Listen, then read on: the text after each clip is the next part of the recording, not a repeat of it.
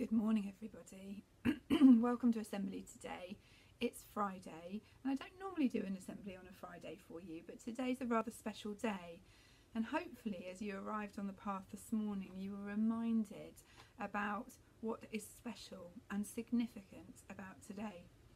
I've got some letters here that hopefully you can just about see that will remind you of what's important about today.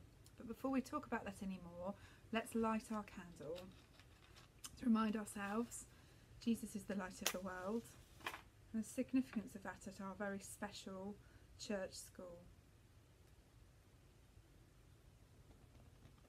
Okay, so our candle is burning bright. I'm going to pop this up with my Noah's Ark here so we can see that. Okay, so our assembly today is about harvest. Now, harvest is a really special time of year, and it's particularly special where we live. We see tractors zooming up and down our country lanes, bringing in the crops at the end of a summer spent growing. And it's lovely to see the change in the fields at this time of year. Now, our assembly today is exploring a little bit about why we have asked you all to bring in donations today into school because we'd like you to know a little bit about where those donations are going. So, we're going to start off by looking at our word harvest. And I'm going to give you some challenges this morning. So, you'll be asked to stop the film on a couple of occasions and do some really careful thinking. okay, there's something very special about our word harvest, something very clever about it because there are lots of words inside the word harvest, and so we're going to play some games. So, the first game we're going to play is seeing if you can rearrange the letters to make a word that describes where we all live. So, we've got the letters H A R V E S T. Can you now stop the film and see if you can make a word to describe where we live.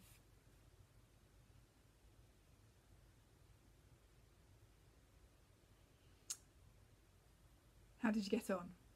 Okay, let me share with you the words.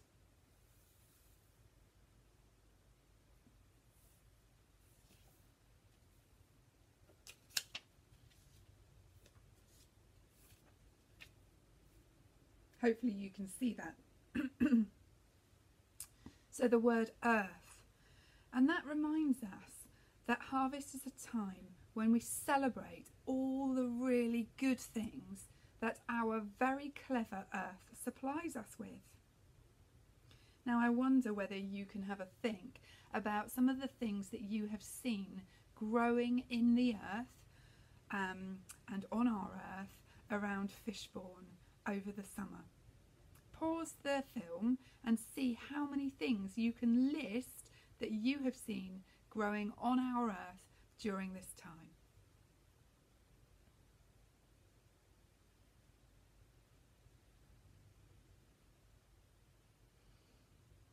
Now, what's really interesting is that our earth has the capacity to grow enough food for every single person living on it. But sadly, not every single person has enough food. And now I'm going to ask you to look for another word within our letters that spell harvest to describe what we call it when people don't have enough food to eat. Pause the film and see if you can find that word.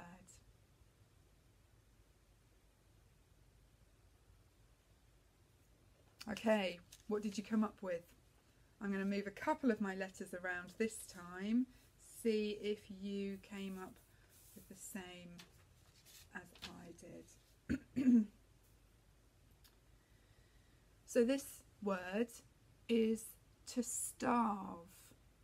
Now, quite a lot of us use the word starve a lot. We describe what it feels like to starve just before playtime when we reach into our bags to find a piece of fruit or just before lunchtime as we're about to devour our packed lunch. We say we're starving all of the time. Now, our understanding of the word starving is a very different one to many, many children across the world and across the community within which we live.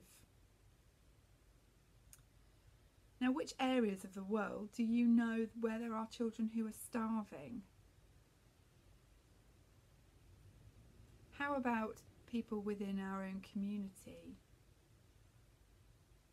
How about people within our own village?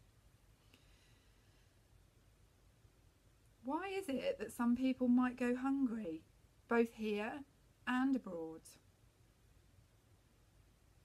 Think about some of the reasons why people in our own village might go hungry. It might be that somebody has lost their job. It might be that somebody is poorly and not able to get to the shops. It might be that an unexpected bill comes along. Maybe a car has broken down. That means that there isn't enough money to buy the weekly shop. It might be that a cooker has broken. There are all sorts of reasons why somebody may find themselves going hungry and indeed may be starving. Overseas, there might be all sorts of other reasons. Some of the things we've talked about in our assemblies before. Maybe there's a war happening in a country, or there's not enough rain, or there's too much rain. There are all sorts of reasons why people may go hungry and why people may need a little bit of help from time to time. Now, one of the things that's very sad about the world in which we live is that there is enough food, but the difficulty is that it's not distributed equally amongst the people who live here. And we ask really, what can be done? Now, I'm going to ask you to look at my letters one last time to see if you can find the letters that might come up with a solution for what we could do about that unequal distribution. So take a moment, look at my letters, and have a think.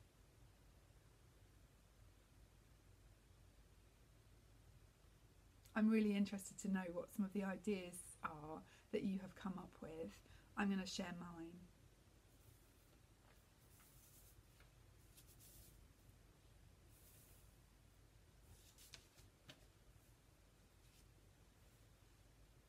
So, how about sharing? Now, many of you this morning will have been superstars and brought in gifts to share with other members of our community. Gifts of long life foods that don't go off quickly but can be stored in a special warehouse and looked after by the team at Chichester Food Bank. Now, for those of you who were in school last year, you may well remember we had a visitor from um, Chichester Food Bank who came in to talk to us a little bit about what would happen to all of our produce once it was delivered.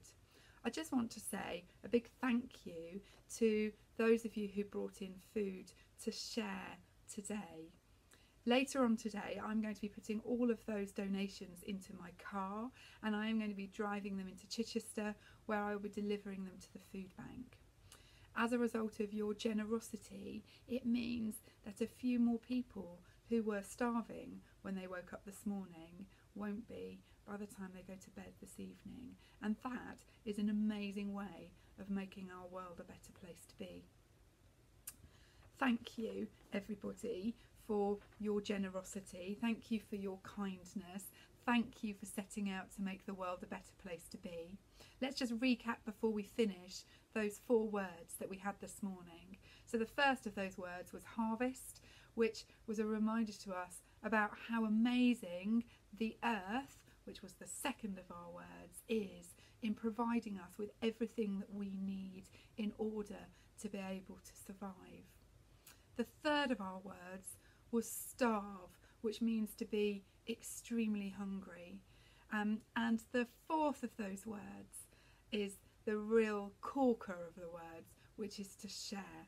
And I want to thank you for sharing with the people of Chichester and the surrounding area your generous gifts today. Children, we're going to finish our assembly here, but I'm going to ask you to take a few moments in your classroom to pray together before you carry on with the rest of your day. Thank you for listening so carefully. I'm going to blow out our candle now. and I wish you a happy end to your day and a happy end to your week. And I look forward to seeing you all later. Bye bye, little fish.